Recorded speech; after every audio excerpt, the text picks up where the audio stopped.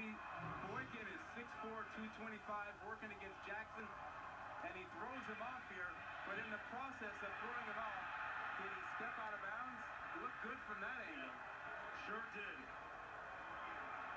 He appeared to stay in bounds.